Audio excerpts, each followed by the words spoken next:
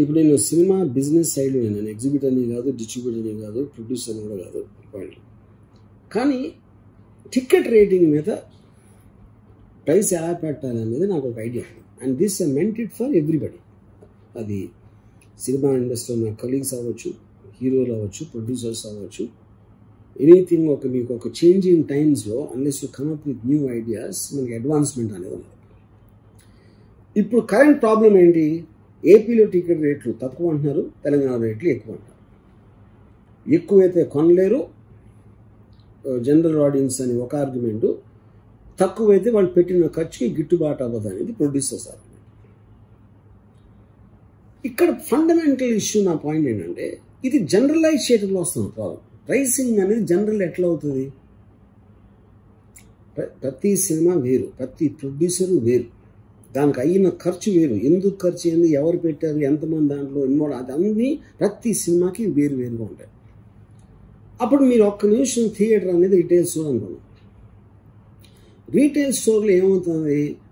రామ్ గోపాల్ వర్మ అనేవాడు ఒకడు ఒక తినుబండారం ఏదో ఒక పదార్థం తయారు చేశాడు. తయారు చేసి షాప్ దగ్గరకు వచ్చి నాకు ఇది మీ షాప్లో పెట్టి కస్టమర్ వస్తే అమ్మండి.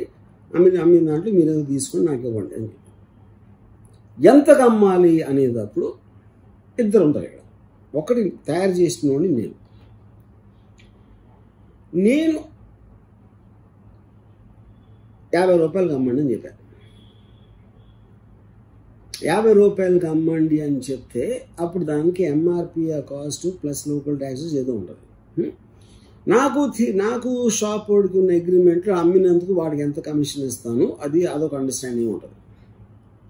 సేమ్ థింగ్ మీరు ఇప్పుడు థియేటర్కి అప్లై చేయండి. థియేటర్లో అప్లై చేసినప్పుడు నా సినిమా నేను కోటి రూపాయలతో తీశాను లేకపోతే యాభై లక్షల్లో తీశాను అప్పుడు ఒక ప్రొడ్యూసర్కి ఏముంటుంది? నేను మార్జిన్ చాలా తక్కువ పెట్టుకుని నా దృష్టిలో ఎంతమంది చూస్తారు కనీసం అని నాకు ఒక ఎక్స్పెక్టేషన్ ఉంది.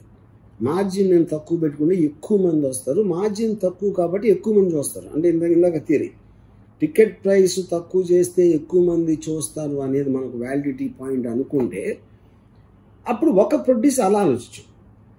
ఇంకో ప్రొడ్యూసర్ ఏమో దీన్ని చాలా తక్కువ మంది చూస్తారు ఇలాంటి కైండ్ ఆఫ్ జానర్ సినిమాని. కానీ వాళ్ళు ఎంత రేట్ అయినా చూస్తారు అనే ఒక ఆలోచనతో వాడు దానికి ఎక్కువ పెట్టచ్చు.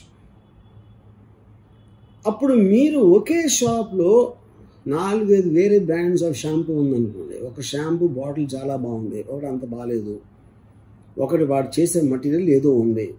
కన్జ్యూమర్ దగ్గర వాడికి కాస్ట్ లిమిటేషన్ ఉంది. అంత అంత ఎక్స్పెన్సివ్ షాంపూ వాడు కొనలేడు. కనుక ఇది తక్కువది కొంటాడు వాడు. సో ప్రజల్లో ఇన్ని రకాల విపరీతమైన టేస్ట్లు ఉన్నప్పుడు ప్రొడ్యూసర్లో అన్ని రకాల డిఫరెన్స్ ఆఫ్ ఒపీనియన్స్ ఉన్న దాన్ని బట్టి ఆడియన్స్ గురించి వాడు ఏం ఆలోచిస్తాడు అనేది ఆ ఫెసిలిటీ అనేది వాళ్ళకి ఇవ్వాలి. అప్పుడు దీని ప్రాక్టికల్ ఇంప్లిమెంటేషన్ ఏమవుతుందంటే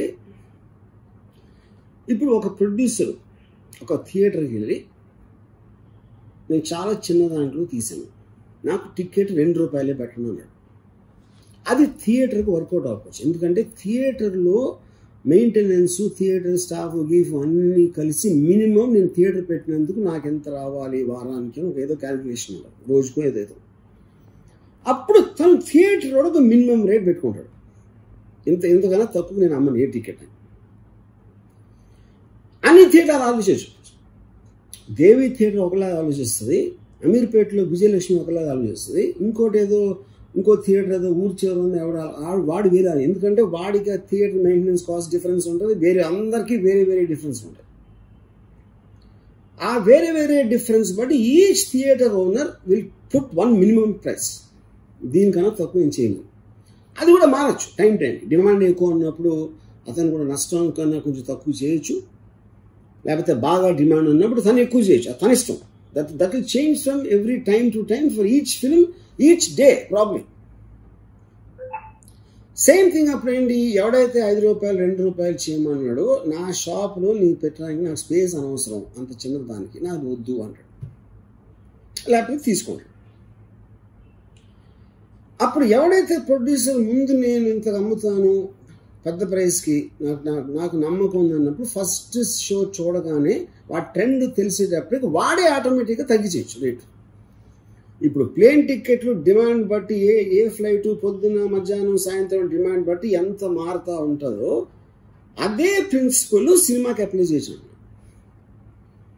కోవిడ్ టైంలో ఫిఫ్టీ పర్సెంట్ కూడా లేదు ఆక్యుపేషన్ ఎంతో కొంత వస్తే సరిపోతుందని ఒక థియేటర్ చాలా తక్కువకి ఇచ్చేయచ్చు. ఎందుకని వచ్చిందే వచ్చినంత? లేకపోతే అసలు ఏమి రాదు కదా అనే దాంతో. కోవిడ్ రిస్ట్రిక్షన్స్ లేనప్పుడు ఇంకోటి ఉండొచ్చు.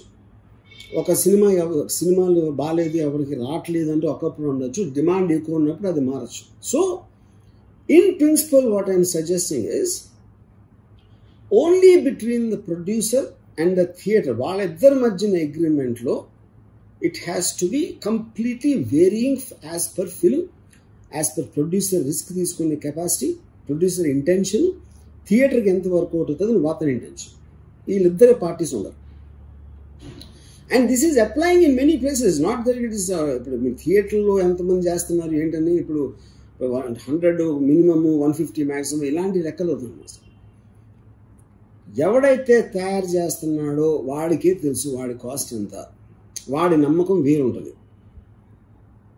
ఎలాంటి ఆడియన్స్ని టార్గెట్ చేస్తున్నాడు? అది నమ్మకం తప్పవచ్చు ఆ తర్వాత తెలుస్తుంది. కానీ మీ స్టార్ట్ చేసే ముందు అతని కెపాసిటీ థియేటర్ వాడిని కన్విన్స్ చేయడం.